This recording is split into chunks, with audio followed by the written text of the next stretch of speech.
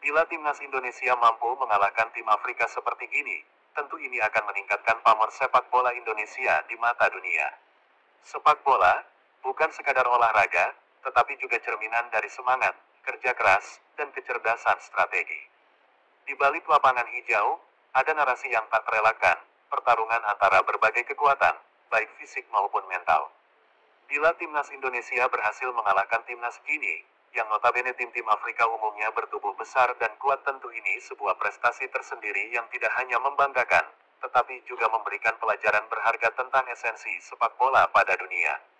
Bila timnas Indonesia mampu menundukkan timnas Gini, ini merupakan bukti nyata bahwa keberhasilan tidak terbatas pada perbedaan fisik semata. Meskipun tim-tim Afrika sering diidentikan dengan atlet-atlet bertubuh besar dan kuat, hal ini tidak menjadi penghalang bagi Garuda Muda Indonesia untuk menunjukkan kemampuan mereka. Bahkan, hal ini menegaskan bahwa sepak bola sejati bukanlah sekadar tentang ukuran tubuh, tetapi lebih pada kecerdasan taktis dan strategi yang diterapkan. Sebuah catatan sejarah tercipta ketika timnas Indonesia mampu mengolah strategi dengan cerdas. Mereka memanfaatkan kelebihan yang dimiliki, seperti kecepatan pemain yang bertubuh kecil, untuk mengatasi kelemahan lawan yang bertubuh besar. Ketepatan dalam berbalik badan menjadi senjata ampuh yang mampu mengecoh lawan. Dengan tubuh yang lebih kecil, pemain Indonesia lebih lincah dalam pergerakan, sehingga mampu mengimbangi kekuatan fisik lawan. Inilah contoh nyata bagaimana kecerdasan dalam memanfaatkan kelebihan individu dapat menghasilkan kemenangan yang gemilang. Namun, prestasi ini juga menjadi momentum penting bagi para penggemar sepak bola Indonesia. Dukungan dan kritik yang membangun dari supporter menjadi pendorong utama bagi kemajuan tim.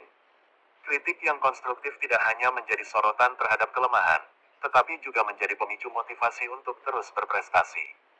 Semangat positif dari supporter menjadi energi yang membara bagi para pemain untuk terus berkembang dan menunjukkan kemampuan terbaik mereka di atas lapangan.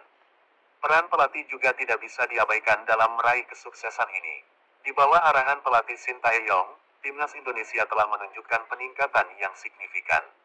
Pendekatan taktis yang cerdas, disiplin yang tinggi, dan semangat juang yang tak kenal lelah telah membawa nama Indonesia diperhitungkan di tingkat Asia maupun dunia.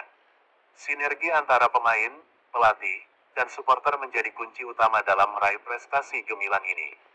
Kini, harapan dan doa menyertai timnas Indonesia untuk terus menorehkan prestasi gemilang. Mengalahkan timnas dari benua Afrika bukan hanya sekadar meraih kemenangan, tetapi juga membuktikan bahwa sepak bola adalah permainan strategi yang membutuhkan kecerdasan dan bukan sekadar bentuk fisik semata. Prestasi ini akan menjadi catatan sejarah yang membanggakan bagi sepak bola Indonesia, serta menjadi inspirasi bagi generasi muda untuk terus bermimpi dan berusaha meraih prestasi yang lebih tinggi.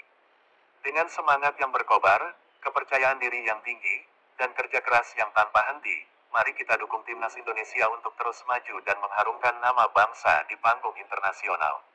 Setiap langkah mereka adalah representasi dari semangat kebangsaan, kebersamaan, dan ketangguhan dalam menghadapi tantangan.